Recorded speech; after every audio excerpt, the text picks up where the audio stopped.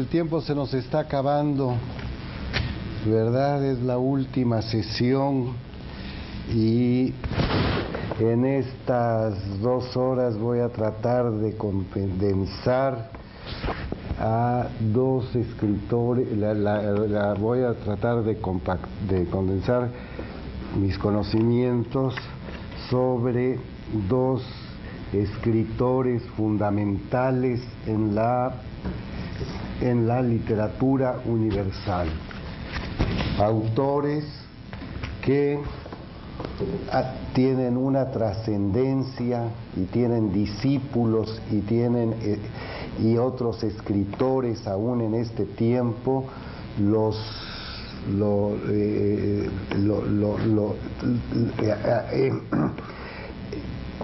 eh, otros escritores en otro tiempo siguen su camino. Tienen una influencia sobre otra, no solamente sobre la literatura rusa, sino sobre otras literaturas y otras sociedades.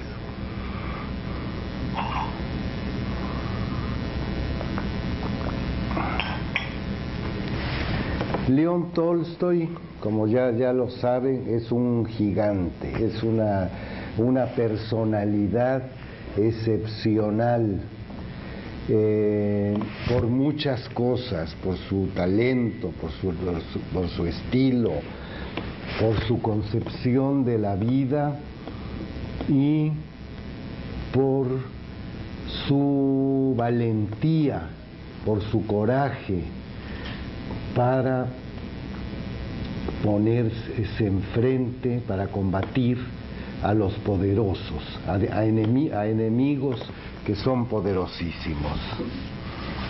es el escritor de, vida más amplia de todos los que hemos visto.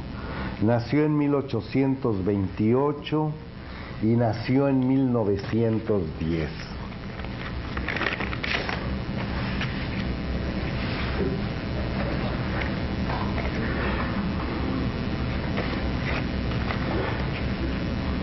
Los, más, los mayores escritores del siglo XIX son Pushkin,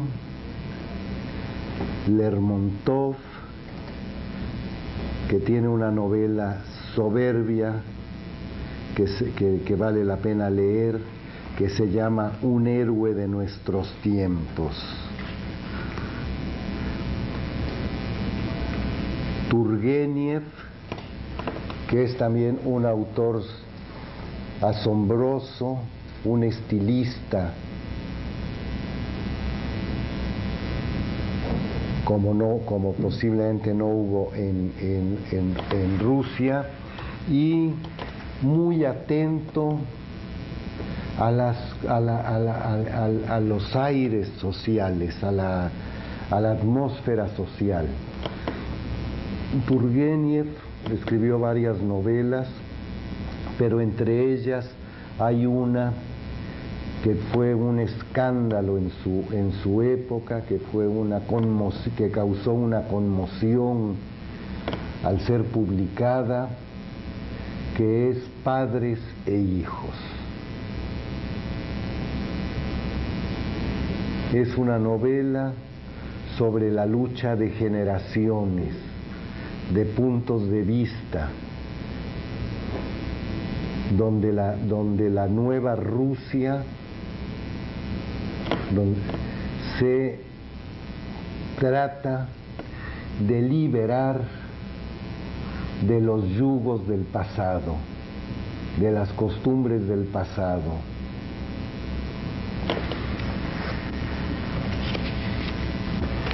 Otro es eh, Dostoyevsky, Tolstoy y Anton Chekhov. Vamos a ver para que tengan idea de cómo está desarrollado esto en el tiempo. Alejandro Pushkin, 1799-1837 muerto en un, en un duelo. Nicolás, Nikolai Gogol, 1809-1852, muerto de demencia. Después de Gogol está Lermontov, el autor de, de, un, de un héroe de nuestro tiempo, no tengo las fechas, pero es más o menos eh, es, es, el que sigue de Gogol y muerto muy joven en un duelo. Feodor Dostoyevsky, 1821-1881.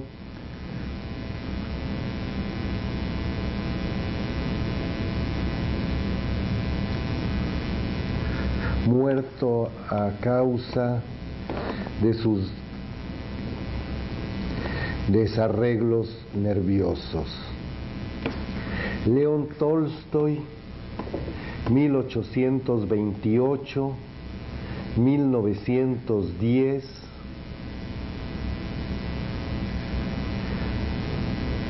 muerto en una pequeña estación de ferrocarril en un esfuerzo por escapar de su casa y de su familia. Iván Turgeniev, 1818-1883. Muerto en el exilio. Y Anton Chekhov, 1860-1904, muerto de tuberculosis.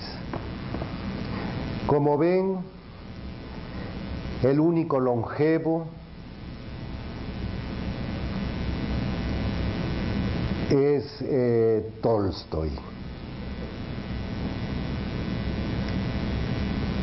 quien muere casi como a los 80 años, ¿no? 78. El, el segundo más...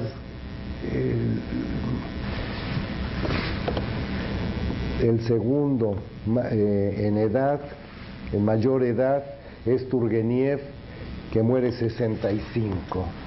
Los otros mueren entre los 30 y los 40 años y en condiciones anómalas para nuestra época.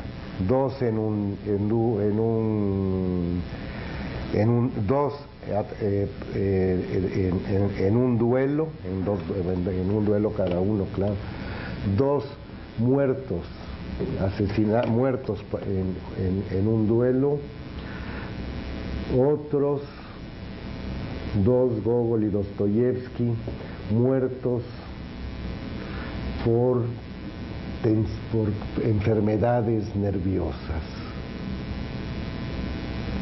Gogol por locuras de, de plano. De estos, de estos escritores, la mayoría pertenecen a la más alta aristocracia, a familias opulentas, con títulos de nobleza muy antiguos, con haciendas eh, inmensas, con palacios en, una o, en, dos de las dos de las dos capitales, Moscú o San Petersburgo, y castillos en, la, en, la, en, el, en, sus, en sus haciendas. Pushkin, eh, Lermontov, Turgeniev, pertenecen a este, a este mundo, mundo de corte, mundo elegante, mundo en el que se hablan varios idiomas, en el que se eh, tienen los medios para viajar a París, para pasar temporadas en Italia, para, para moverse. Otros dos, Nikolai Gogol y Fyodor Dostoyevsky, son eh, descendientes de una nobleza campesina, nobleza de, segunda, de segundo orden. Y Anton Chekhov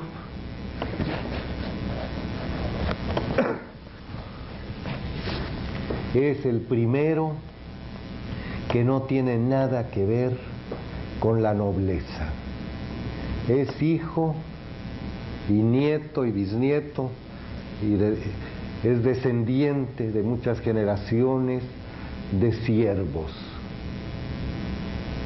Él nació precisamente un año después de, la abolición de la servidumbre. Pero en su, mundo, el mundo, familiar, ha formado parte en toda su, vida anterior en condiciones de servidumbre. son gente que se puede comprar, que se puede vender, que se puede rifar, que se puede jugar a las cartas, que se puede obsequiar, como se obsequiaban tanto a los niños pequeños como mascotitas. Entonces, el, el cambio el cambio de, en, este siglo, en estos años, el cambio mayor que se observa resulta de la aparición de Chekhov, de la obra de Chekhov. La sociedad eh, eh, es, cuando empieza Chekhov a escribir, la sociedad es diferente, se habían dado grandes saltos.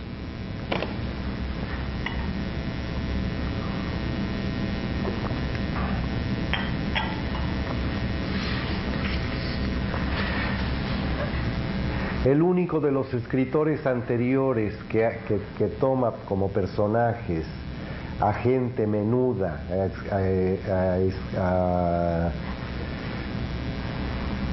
a, empleados minúsculos de rango, de, poquísimo rango, es eh, Gogol y por excepción en alguna de sus obras, entre, otras El Doble, es Dostoyevsky. Pero en las grandes novelas de, de Dostoyevsky, como en todas las novelas anteriores, los protagonistas forman parte de la capa social a la que pertenecen sus autores. Son príncipes, son condes, son duques, son mariscales. La vida, la vida de estos personajes está, eh, eh, transcurre gran parte en, en, los círculos de la corte, de los círculos formados por la gente de la corte. Tolstoy no es ninguna excepción, pertenece por, la parte paterna a la familia de los condes de, Tolstoy, una que tiene raíces eh, inmensamente antiguas, tradiciones muy fuertes, y por la parte materna es príncipe sería príncipe Volkonsky. Su mujer, su madre fue, fue una princesa Volkonskoya.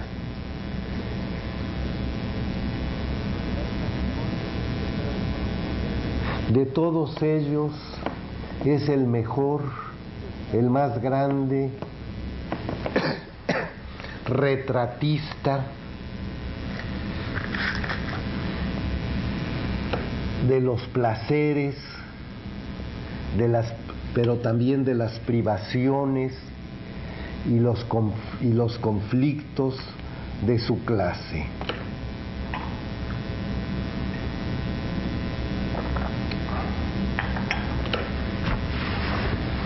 Fue huérfano desde muy, desde muy pequeño, vivió con su abuela, con un, con, un grupo de, preceptores. Eh, la, vida, su vida de niñez y de adolescencia y de juventud fue una vida de placeres, de cuidados, de mimos, estudia eh, leyes, hace la carrera de leyes, no sé si la terminó, creo que no, porque eh, y, eh, ya en, esta de estudiante llevó una vida absolutamente disoluta. Sus problemas fundamentales eran su erotismo obsesivo y el castigo ulterior que, era, que, consistía en la contracción constante de, enfermedades venéreas muy difíciles de, curar muy arduamente difíciles de, curar en aquellos tiempos. Eh, de alguna manera, la vida de Tolstoy, en ciertas formas, se parece a la vida de, lo, que, sabemos de la vida de, de San Francisco de Asís. Es una vida disoluta, una vida lujosa, una vida erótica muy intensa, para en un momento convertirse en, un, en, una figura para santificar, casi en, casi en un santo. Si el mundo, si el mundo de de Dostoyevsky era un mundo patológico, paracriminal, oscuro, laberíntico, el mundo literario que, nos, presenta Tolstoy en sus grandes momentos, en sus grandes novelas, es un mundo solar es un mundo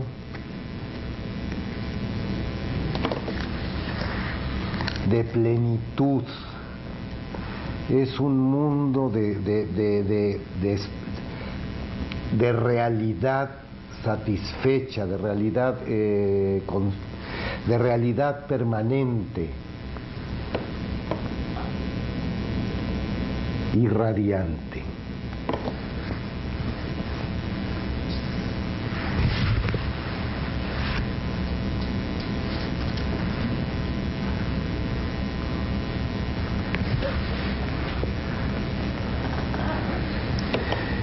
radiante. para él el sentido que tenía la vida, el sentido de la vida, se realizaba en la vida misma, en el vivir, a secas, en pleno.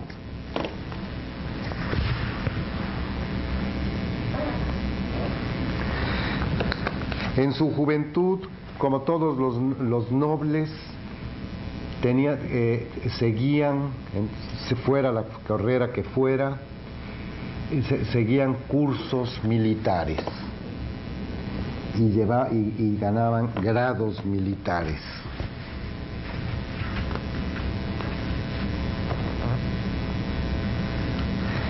Eh, muy joven, hastiado, de, ciertos desórdenes eh, eh, de ciertos desórdenes ocurridos, de ciertos desórdenes físicos y, mentales, de, que eh, por una temporada muy activa socialmente en San Petersburgo, eh, muy, muy, joven se fue a visitar a su hermano que tenía un cargo militar en la parte, en, el, en el Cáucaso. El Cáucaso es la parte cálida de, Rusia, la que, la que rodea al mar, al mar Negro.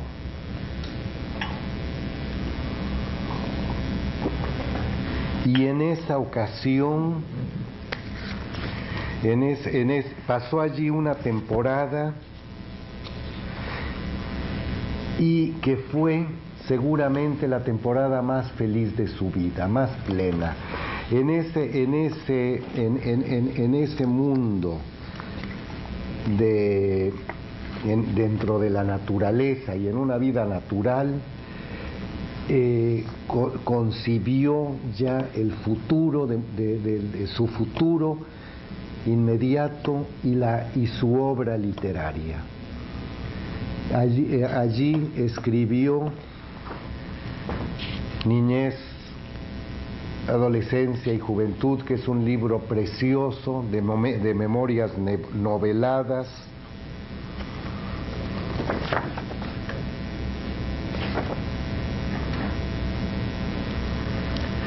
Y tomó los temas para escribir poco después una novela que tuvo mucha, mucha una gran una gran recepción, una gran recepción que fue los cosacos. En los cosacos cuenta también autobiográficamente su experiencia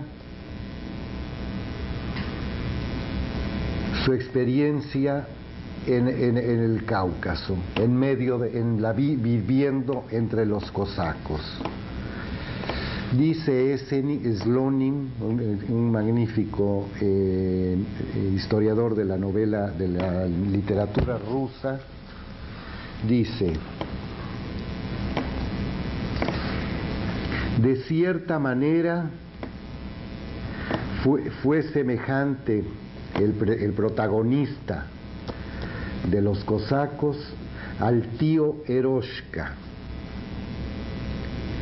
el viejo cazador de los... No, en, cierta manera Tolstoy fue semejante al tío Eroshka, el viejo cazador de los o, cosacos, que obedecía al llamado de la vida. Estuvo en acuerdo perfecto con la naturaleza y creyó, y esto Tolstoy lo, lo, lo repite muy a menudo en sus diarios, que el único fin de la vida era la vida misma.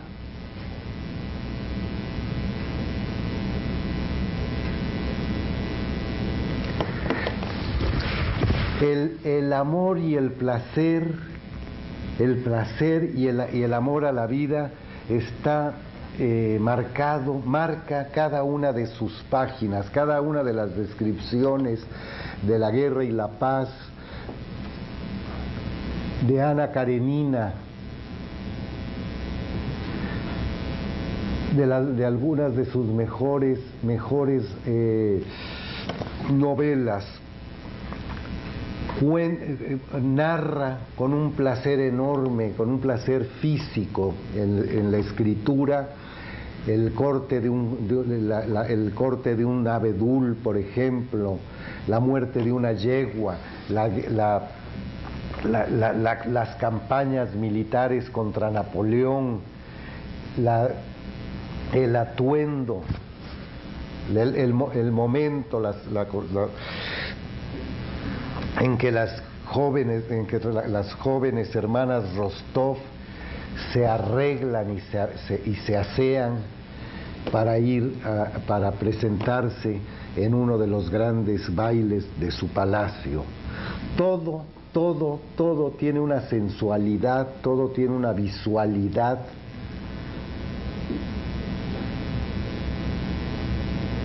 Una luz que, era, que es rara que es poco habitual en la, en la, en la narrativa rusa.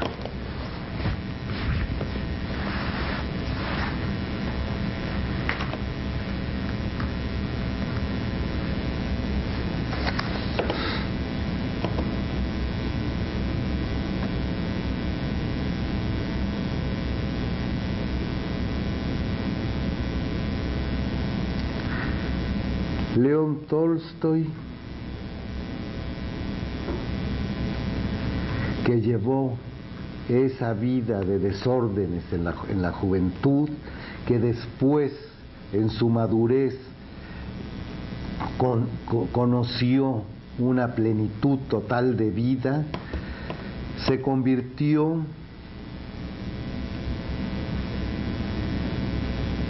en, en en, un apóstol al final, en un místico, un místico que acabaría por crear una nueva religión, una de las personalidades más notables, más sorprendentes y poderosas que la humanidad ha creado, una especie de Dios todopoderoso, capaz de crear un universo para luego, exasperado por sus imperfecciones, intentar destruirlo.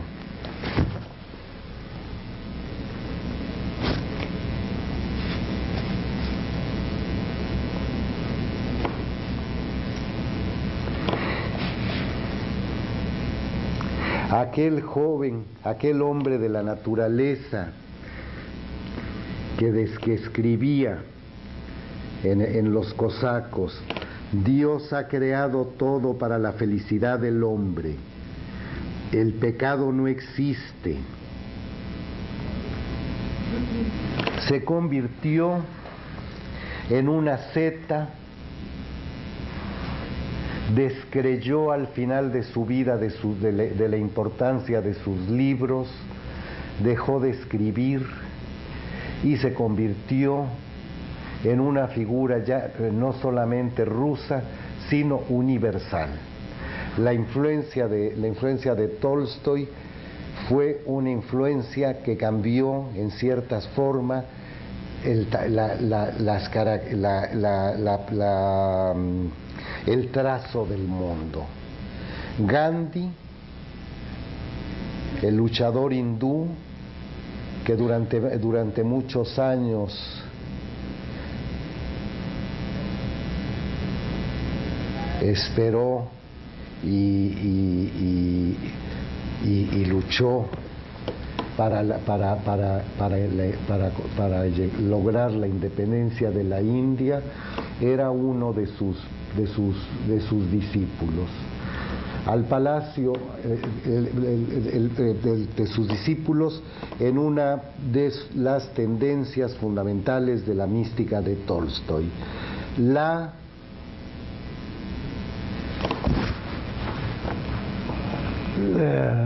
¿cómo es esta cosa? La, la, algo de la la resistencia pasiva.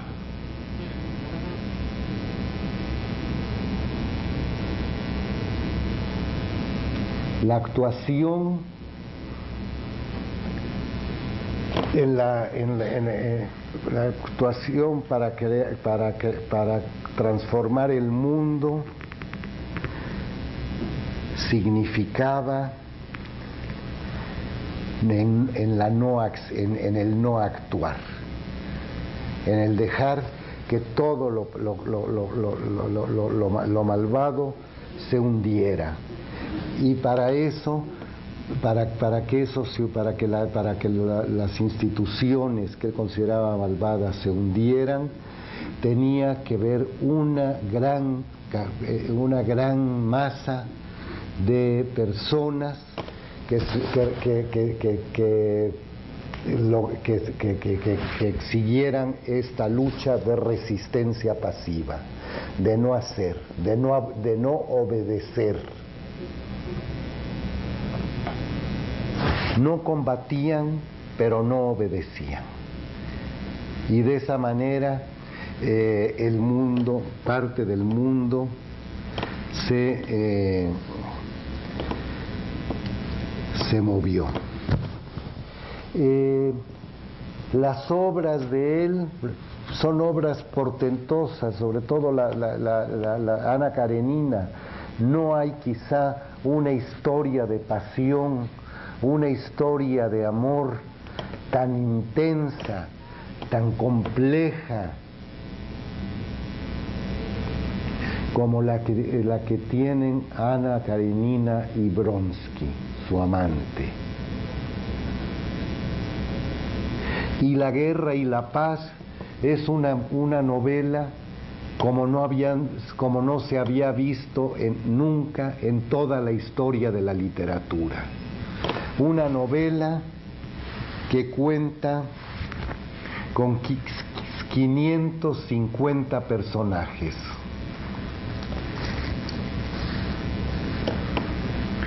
cada uno de ellos individualizados y descritos con características físicas y morales bien determinadas. Es una hazaña única. Un novelista ahora, eh, con 20 personajes, ya está, ya está hecho bola. Con 25 ya no puede más. La Tierra y la Paz tiene 559 personajes bien determinados. En la Guerra y la Paz, los grandes acontecimientos históricos, las gestas de Napoleón y de Alejandro I, se entreveran con las familias, sobre todo las dos fundamentales, los Rostov y los Volkonsky. Los detalles de la preparación de un baile adquieren la misma importancia narrativa que una victoria o una derrota en el campo de batalla.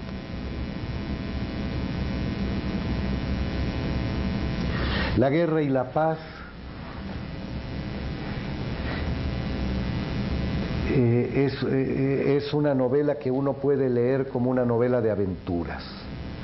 Aventuras de, varias familias a quienes les tocó vivir durante la invasión de Napoleón a Rusia. Pero es también una, una, una novela profunda, con conceptos filosóficos, éticos, muy bien delineados, muy intensamente eh, expresados.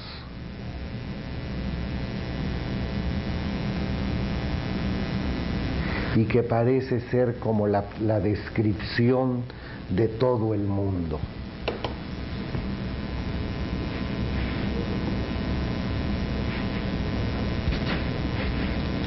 El novelista inglés Ian Forster, el de la, El pasaje a la India y otras novelas, dice que en la guerra y la paz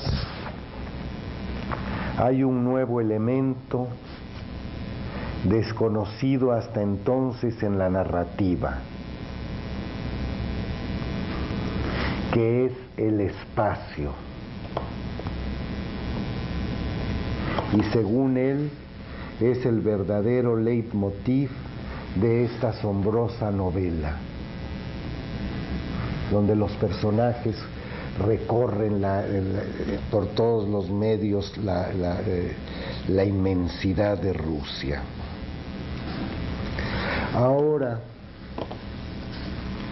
En, una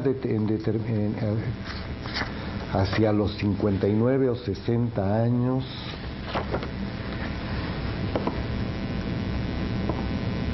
Tolstoy tiene una crisis de conciencia al recordar ciertos aspectos de su juventud,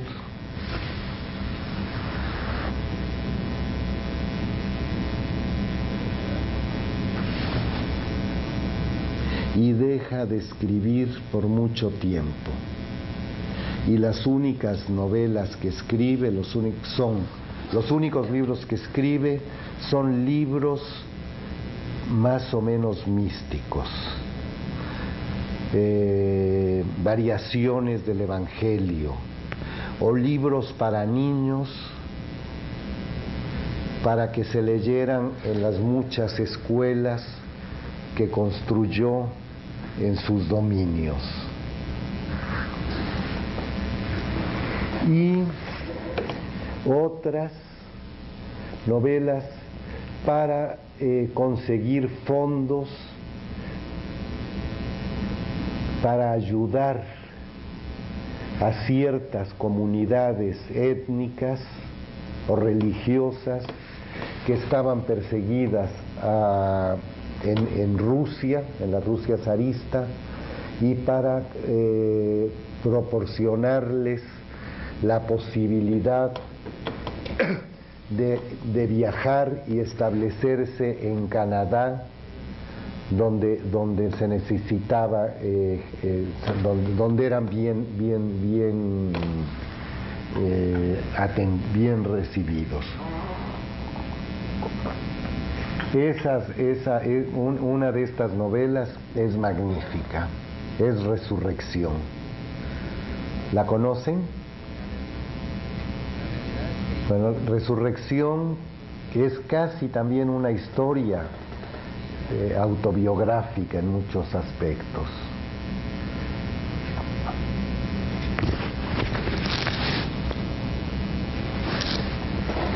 Él podría ser de alguna manera, no, porque, no porque fuera acompañando a una prostituta hasta los penales de Siberia, pero el interior de ese personaje, Nehludov creo que se llama, son lo que les está ya escrito en los diarios de, de, Tolstoy.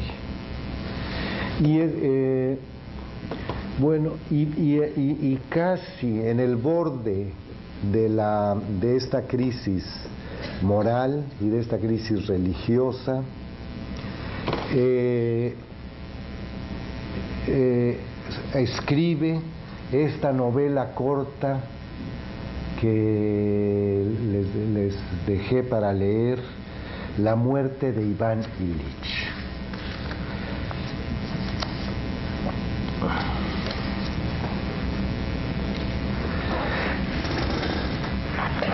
Vladimir Nabokov, que como les he, dicho, eh, era un, enemigo acérrimo, un, detractor acérrimo de, de, Dostoyevsky por su por, por la forma en que desgajaba las novelas, porque las novelas le parecían poco artísticas y más bien crónicas de actualidad, crónicas sobre crimen. ¿Me estás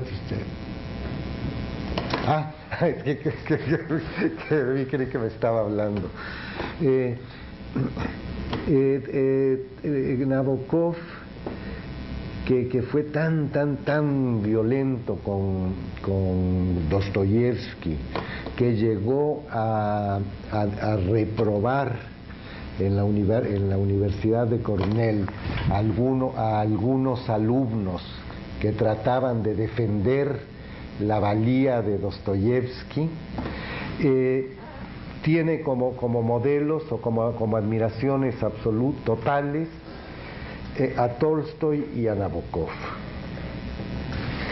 Tolstoy para él es el mayor escritor ruso de ficción. Y decía que cuando se lee a Turgenev, por ejemplo, uno sabe, uno sabe que está leyendo a Turgenev porque ha detectado su estilo. Pero cuando se, se lee a Tolstoy, uno sabe que es él, que es de Tolstoy, porque uno ya no puede dejar el libro después de haberlo, de, haberlo comenzado. el, el, imán de una novela de Tolstoy es eh, inmenso.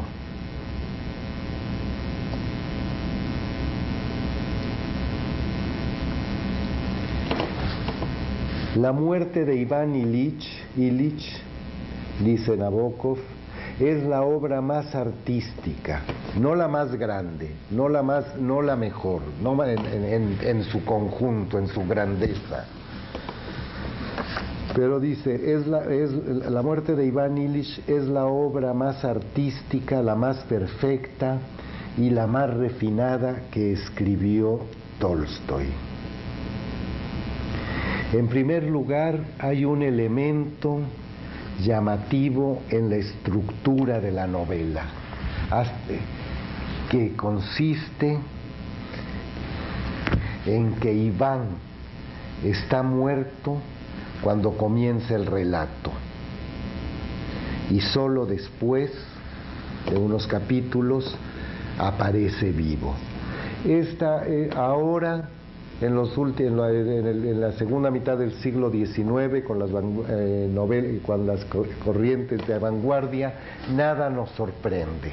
Una novela puede tener una cronología, la más absurda, eh, la, más eh, extraña posible, pero que no llega a ser absurda cuando el escritor la ha voluntariamente eh, establecido de esa manera, cuando, cuando ha encontrado la forma de establecer esos saltos cronológicos, ese vaivén entre los años.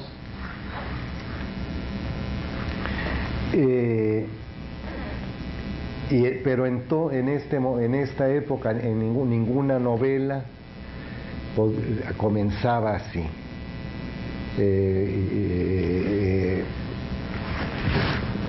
a, veces había en, Balzac eh, estados o en Dickens también recuerdos de algo, pero aquí es el hecho el hecho fundamental de, una novela que se llama La muerte de Iván Ilich, es el era, era entonces muy, muy, muy eh, novedosa.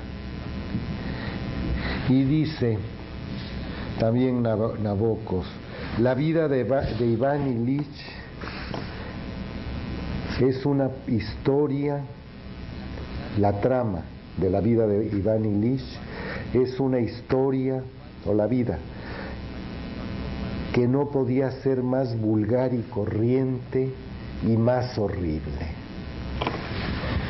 Y si ustedes ven que la, vida de Iván Ilich es una vida de donde la cual han aparecido todos los en, en cierto momento pasada o, llegada a la juventud han desaparecido, se han evaporado todos los elementos vitales todo lo que es el eros en el sentido eh, amplio, ¿no?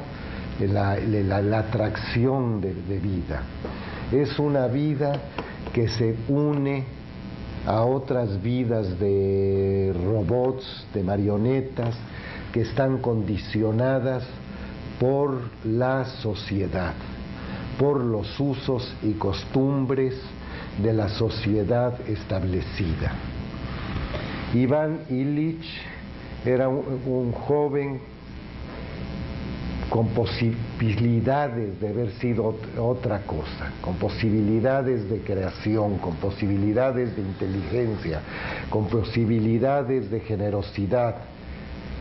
Y el, molde que la sociedad que, prepara para, estos, para estas personas, él lo acogió en toda su plenitud. Dejó de ser él. Para, para Iván Illich no importa nada que no sea el progreso. Pero, pero, pero ese progreso es un progreso individual y administrativo. Es, significa simplemente escalar el escalafón administrativo hasta llegar a los mayores puestos y a las, grandes condecoraciones y medallas. Su matrimonio es una farsa. Su vida familiar también. Sus amigos se, dicen amigos, se, aplica ese sustantivo, pero en, verdad realmente no lo son. la novela comienza en un ministerio o en un tribunal donde están grandes algunos personajes de, más o menos alta eh, de, alta escala en la alta escala eh, y, leen en la nota, alguien les, muestra el periódico, toma el periódico y dice, va, hombre, ya acaba de morir Iván Illich porque estaba a la esquela. No hubo ningún movimiento de, de dolor, de interés, de nada, salvo uno de interés, que saber a quién le va a corresponder su puesto a quién de, de, ellos o de sus o de sus o de sus protegidos, de sus familiares o protegidos de su grupo, van, a ganar ese puesto. La viuda, a la viuda, a pesar de que, está, de que eh, hace todos los protocolos del duelo y todo, cuando la vemos a ver, hablar con, los, amigos de Ilish, lo único que le interesa es saber de dónde podrá sacar más dineros. Eh, cuáles son las ventajas eh, que va a tener ahora en su viudez. Y, tratar de saber si hay alguna de la que no, que no conoce, que, que se le escapa, ¿no? Alguna, alguna alguna nueva fuente de ingresos que gane por la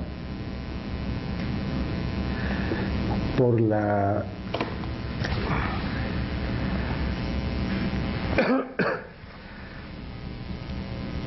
por la por la viudez. Y la muerte llega una vez llegado a una casi cima de su carrera, con una casa nueva, donde, donde eh, amplia, una casa muy elegante, una residencia. Que, que, que, amuebló, que organizó, que, donde organizó la decoración. Él mismo, se da un golpe y de ese golpe viene una enfermedad y de esa enfermedad viene una agonía y al final eh, y al final es la muerte. Y solo cuando ya la muerte está por llegar ve una luz que le da la, que, le dice que le que el fin está próximo y que es la liberación. Eh, muy pocas cosas eh, eh, aprendió en la vida y solo en la muerte, en la, en, la, en, la, en la, enfermedad y en la agonía, se dio cuenta que su muerte, que su, que su vida era una vida perdida, que su vida no tenía sentido, que su vida no le, no le interesaría a nadie, no, no beneficiaría a nadie. Encuentra que es que está muerto desde muchos años y que esta sola, esta, esta, este fenómeno que le, que le está sucediendo es simplemente una corroboración de un Iván Illich que había muerto hace 40 años o más. La, obra está estructurada de una manera formidable.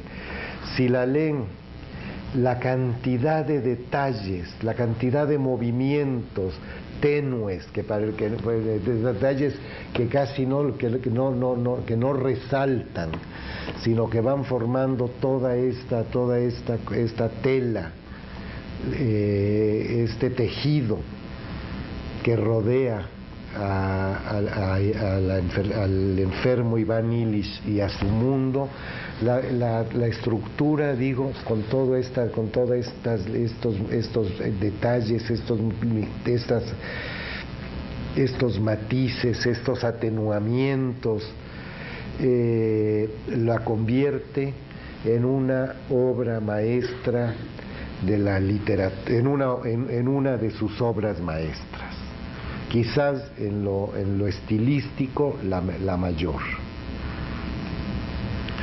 Eh, el horror, el horror, la, la repugnancia que Tolstoy eh, adquirió en un en determinado momento y hasta su, hasta su fin es eh, un horror y un aborrecimiento a la sociedad constituida, a la artificialidad que los que la, que la, que las que los eh, usos, costumbres, módulos de las, que la sociedad imprime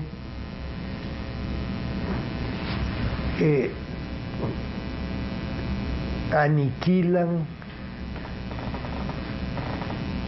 todo lo que es de, lo que es naturaleza en el ser humano.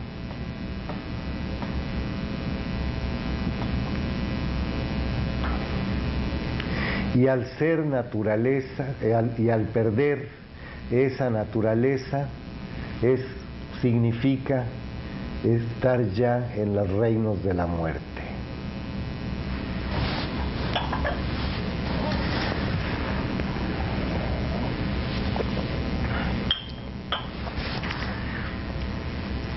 Bueno, la, la, psicología de, de, es sumamente complicada, es sumamente difícil en todas sus, en todas sus edades.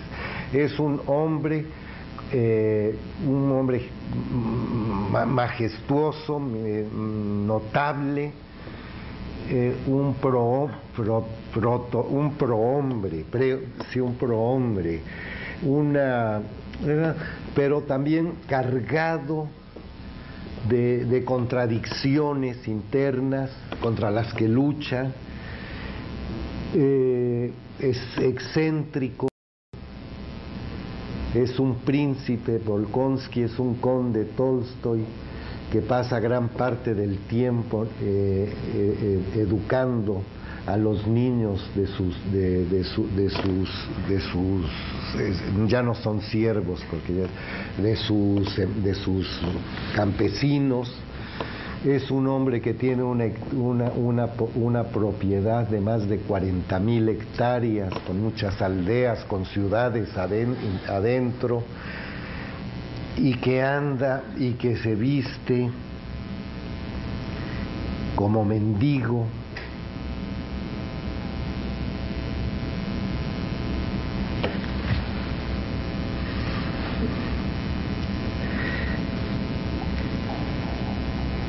Es un, aristócrata que de la opulencia, que a la opulencia elige la miseria, pero que nunca deja de ser soberbio. Soberbio con, sus pares, soberbio porque se puede levantar y, decir, y, decirle al zar eh, lo que piensa, soberbio porque puede también al, sacerdote más alto, al, de la, persona de mayor altura, de mayor categoría en la, de, la iglesia ortodoxa, puede refutarlo. Al final, bueno, en los últimos 20, 30 años es, eh, fue, eh, fue eh, excomulgado. su, su, su su cadáver, su, su, cadáver no su féretro no pudo ser enterrado en tierra bendita. Aunque, eh, aunque eh, eso ya lo sabía porque era una cosa de la que, venía del era un resultado de la de la excomunión, entonces eligió un, claro de uno del, de, un, de bosque de abedules muy cerca de su palacio para estar allí. Eh, un testigo todavía de la, de la muerte de, Tolstoy me contó que fue Víctor Shklovsky, el, uno de los grandes eh, teóricos de del formalismo ruso de los años 10. Yo lo conocí todavía en los 70, con ochenta y tantos años, él tiene una, una, obra monumental sobre, sobre de estudios sobre Tolstoy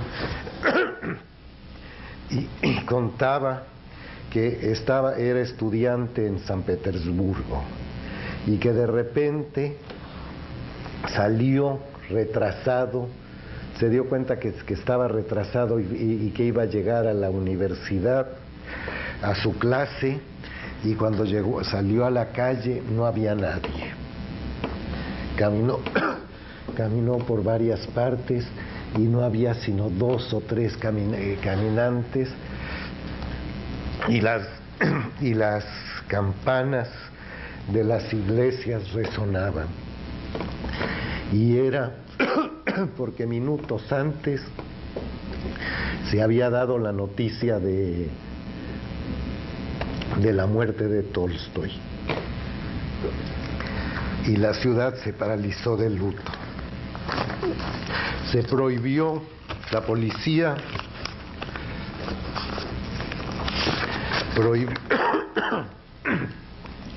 prohibió, que fuera de la que fuera de la ay yo tengo también aquí la policía prohibió que fuera de la familia nadie pudiera acudir a la a la al entierro de Tolstoy. Y acudieron decenas de millares de gentes que evadieron los caminos, entraron a la hacienda por por, por, por, otras partes, que, por, el campo, por, la, la, por el bosque.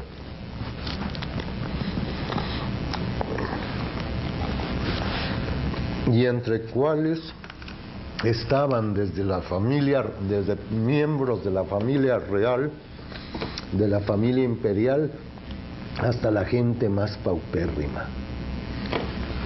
Bueno, voy a hacer una pausa de un cigarrillo y vemos Tolstoy, Chekhov.